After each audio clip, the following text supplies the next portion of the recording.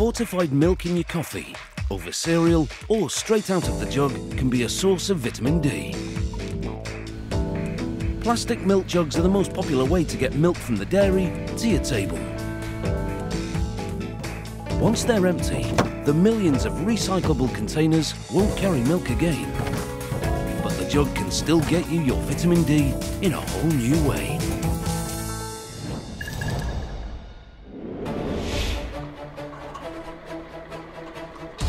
Team Alliance Plastics in Springfield, Michigan transforms discarded milk jugs so they can be made into lumber.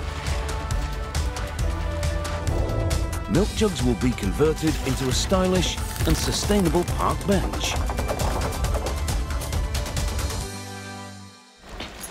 The recyclers sort, grind and wash empty milk jugs to transform them into the building blocks for brand new products.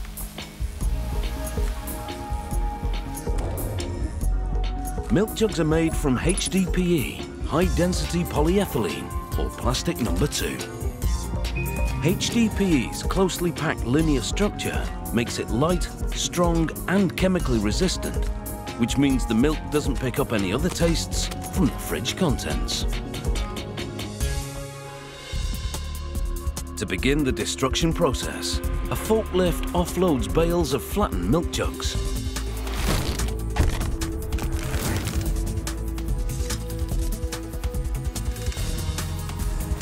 workers break up the bales and sort through the jugs. They sift out debris like bags and other non-HDPE items and then load the jugs onto a conveyor.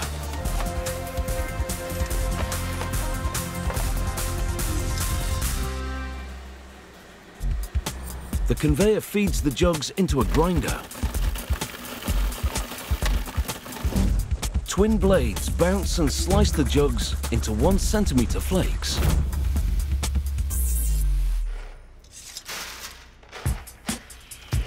Workers shovel the plastic flakes onto a step conveyor that drops them into a wash tank.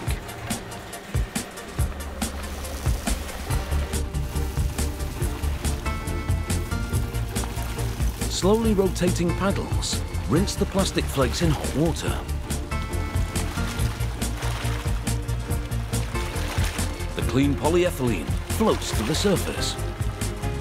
Dirt and sludge sink to the bottom and drain off.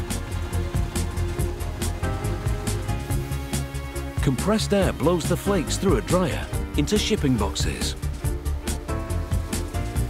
What were once discarded milk jugs are that much closer to their place in the sun.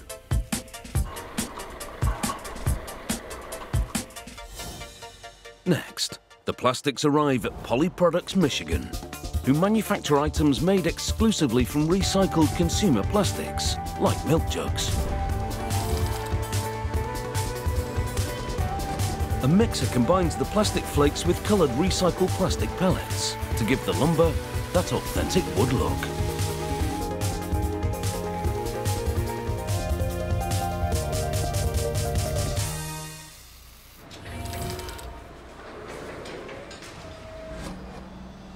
A hopper feeds the blend into an extruder.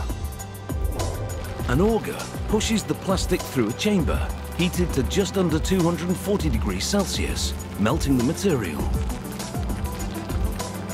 A feeder then injects the molten plastic into a rack of plank-shaped molds. When the plank is cool, it's released from the mold. Workers then inspect the lumber and stack it allowing it to set completely so it doesn't warp. Another set of moulds press recycled dark plastic pellets into faux wrought iron bases. An operator water cools the bases to prevent air bubbles deforming the surface and shape.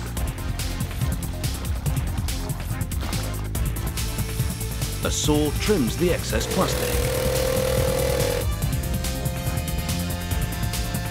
An operator hand sands the surface to a smooth finish.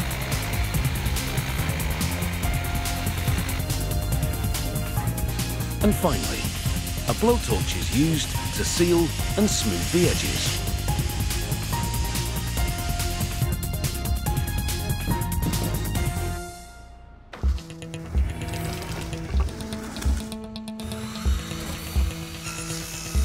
At the saw line, a mitre saw shears the edges and cuts the plastic lumber to its final size.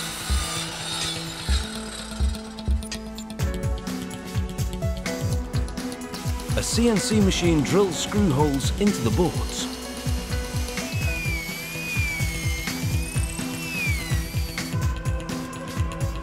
Workers assemble the bench on site in minutes with recycled plastic brackets and minimal tools.